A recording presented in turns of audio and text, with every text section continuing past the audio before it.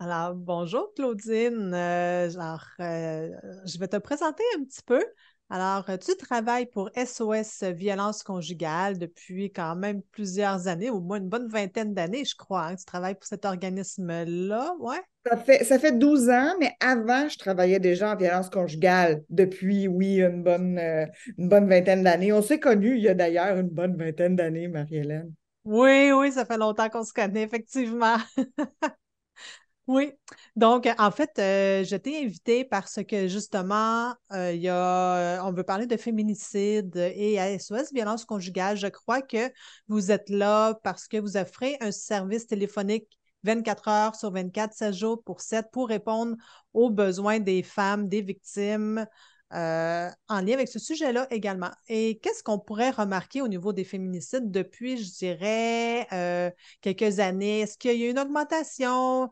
Est-ce que euh, c'est rendu comme une mode? Ou est-ce que la COVID a eu des impacts par rapport à ça? Ou peut-être que ça a toujours eu lieu, sauf qu'on n'en parlait pas? Est-ce que tu peux nous faire un petit topo de la situation par rapport aux féminicides ici au Québec? En fait, historiquement, il y avait plus de féminicides si on recule d'une vingtaine, trentaine d'années. Euh, ça, avait diminué jusqu'à une moyenne autour de 8 à 10 par année. Euh, c'était quand même une bonne diminution. On était euh, heureuse de, de, cette diminution-là. On n'en parlait pas beaucoup, ceci dit. Il y en a peut-être beaucoup qu'on n'a pas su. qu'on n'a pas pu compter, donc. mais ce qu'on a vu, c'est qu'avec la pandémie, la violence, pour beaucoup de situations, elle s'est amplifiée. Euh, ça n'a pas créé des nouvelles situations de violence, mais dans les familles où il y en avait déjà, où c'était déjà en train de s'installer, bien là, ça s'est installé plus rapidement. Puis c'est allé plus rapidement vers des formes de violence qui pouvaient être dangereuses pour la sécurité ou pour la vie des victimes. Euh, et tout de suite après la pandémie, il y a eu vraiment une grande augmentation. Ben, pendant, après, là, après les premiers confinements, au printemps 2021, il y a eu, à ce moment-là, je pense qu'on s'est rendu à 12 féminicides en 12 semaines, à un moment donné, quelque part autour de février, mars, avril 2021, ce qui était épouvantable, euh, comparativement aux 8 à 10 par année qu'on avait eu dans les années précédentes. Donc, euh, oui, il y a eu cette année-là vraiment un grand nombre de féminicides. Peut-être euh, parce qu'il y a beaucoup de femmes qui ont attendu avant de se séparer. On sait que le moment d'une rupture, c'est souvent le moment le plus dangereux. C'est souvent le moment où, quand il y a à y avoir des formes de violence plus dangereuses pour la vie, c'est généralement autour de la rupture que ça va se produire. Euh, et comme il y a peut-être eu un petit peu euh, plusieurs femmes qui ont attendu avant de se séparer puis qui se sont toutes séparées en même temps, peut-être que ça a pu faire en sorte qu'il y ait plus de féminicides à ce moment-là. Mais peut-être aussi que les situations s'étaient plus aggravées à cause de la, pandémie, puis que ça a plus eu un potentiel d'amener jusque-là. C'est difficile à dire, hein, c'est des hypothèses. Euh, mais une chose est sûre, il y en a vraiment eu beaucoup. Euh, puis ça, donc, cette année-là a été très difficile. Puis l'année suivante aussi a été très difficile, 2022. Euh, là, on est en 2023.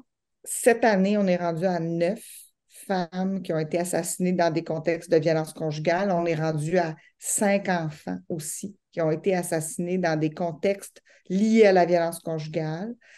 Euh, donc, ça fait quand même 14 personnes qui sont décédées. On est rendu au mois d'octobre. C'est beaucoup déjà.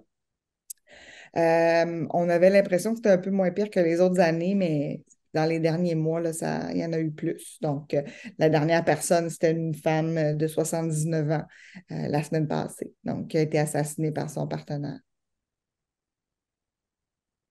Ouais, ouais, ouais. Ouais, c'est ça, hein? Euh, effectivement, euh, je pense que les, euh, les femmes ont enduré un peu leur séparation. Ils ont, Puis à ce moment-là, je pense que ça l'a seulement ça l'a empiré la séparation. Ou est-ce que c'est en lien avec le manque de ressources, ou bien est-ce que c'était un manque de sensibilisation, ou bien un manque d'accès à la justice? Qu'est-ce que tu penses que ça pourrait être? Euh, c'était quoi la cause, tu penses? c'était pas un manque de sensibilisation, en tout cas, parce qu'il n'y a jamais eu autant de sensibilisation à la violence conjugale que dans les dernières années. Euh, il y a eu des publicités télévisées, il y a eu de l'argent qui a été donné à des organismes comme le nôtre pour développer des campagnes de sensibilisation. Euh, pendant la pandémie, euh, il y a eu des publicités spécifiques sur cette problématique-là, même que le premier ministre en a parlé pendant ses points de presse. Donc, je ne pense pas que c'est une question de manque de sensibilisation, pourquoi il y en a eu plus dans les dernières années. Je pense que c'est, mon hypothèse à moi, c'est que les conjoints violents, certains conjoints violents ont gagné beaucoup, beaucoup, beaucoup, beaucoup de pouvoir pendant la pandémie parce que les victimes étaient pris à la maison. Ils ne pouvaient pas sortir, ils n'avaient pas le droit. Puis après ça, quand ils ont voulu retrouver leur liberté avec tout le monde, euh, ben là, les partenaires violents se sont permis d'utiliser plus de violence pour garder le pouvoir parce qu'il y avait tellement gagné de pouvoir à cause des circonstances de la pandémie par exemple, au niveau économique, il y a beaucoup de gens qui ont perdu leur emploi ou qui ont été mis sur pause pendant un, certain temps. Euh, tout ça, ça crée des embûches supplémentaires, oui, au niveau des ressources personnelles. Euh, tu parlais d'accès à la justice. Oui, ça aussi, ça peut jouer parce que pendant un certain temps, bon, les, oui, la justice continuait, la police continuait à jouer son rôle, mais on savait que les palais de justice, euh, il y avait beaucoup de retard à cause de la pandémie. Donc, tous ces facteurs-là ont joué, mais le plus important, c'est que je pense que les partenaires violents ont gagné beaucoup de pouvoir à cause des circonstances, puis après ça, ils n'ont pas voulu le laisser aller, ce pouvoir-là. Ils se sont permis des formes de violence plus graves pour le garder.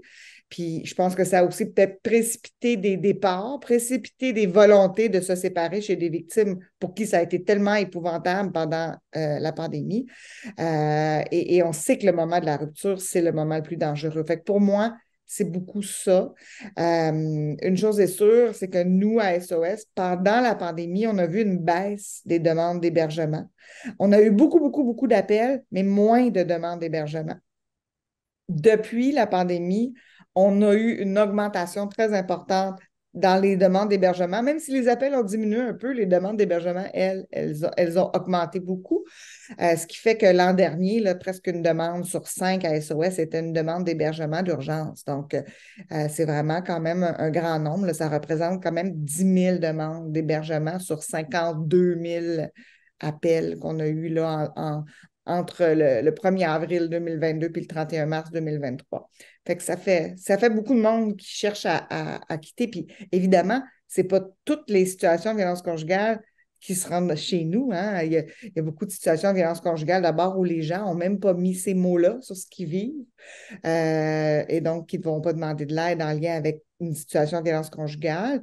Puis, euh, tu sais, donc, tu sais, il y a vraiment un grand nombre de situations qu'on échappe ou qui ne se rendent pas à nous, des fois parce que les gens n'ont pas besoin de nous, parce qu'ils ont suffisamment d'aide dans leur réseau. Ça, c'est super.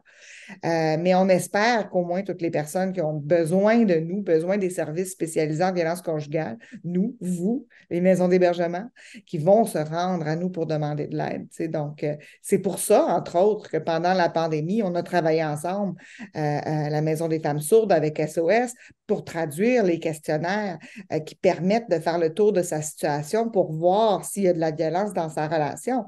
Justement, pour que chaque personne, où ça peut être ça, là, jeu, que la personne sache qu'elle peut demander de l'aide, qu'elle se sent à l'aise de demander de l'aide parce qu'on voit souvent ça. Hein. C'est dur de demander de l'aide.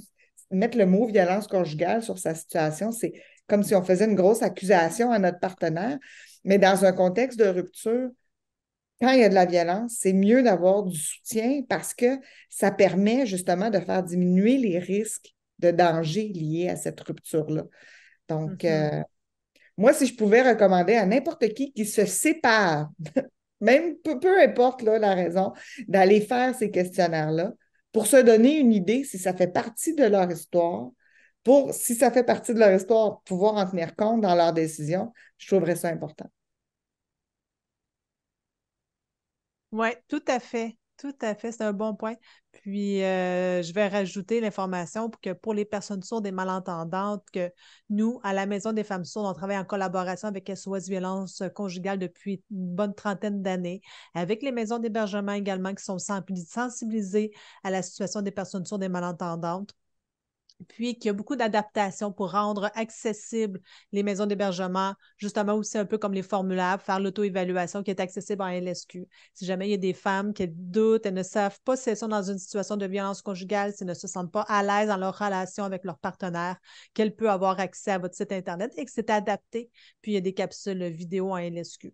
Euh, si elles sentent qu'il y a quelque chose, de ne pas se gêner, de nous contacter ou de vous contacter, vous, pour euh, justement, parce que vous êtes ouvert 7 jours sur 7, 24 heures sur 24, il y a toujours quelqu'un qui répond aux demandes d'aide des, des, victimes. Même si c'est une information qui n'a peut-être même pas rapport, de quand même téléphoner pour rassurer justement la personne en, tant que telle. Mais en fait, merci beaucoup, euh, Claudine, pour la petite entrevue.